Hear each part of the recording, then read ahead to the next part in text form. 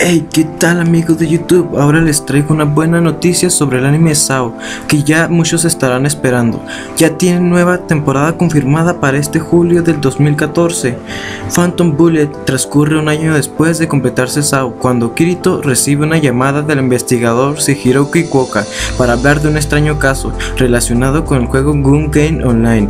Un misterioso jugador llamado Ted Gun es capaz de matar a personajes en el juego y a su vez matar a quienes lo controlan en el mundo real.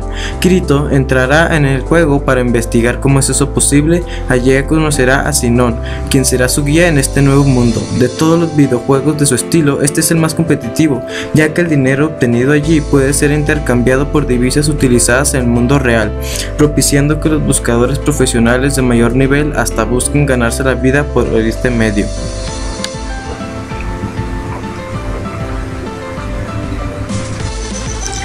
Bueno, eso sería todo, ahora los dejo con el video promocional que nos dieron a conocer hace ya unos meses.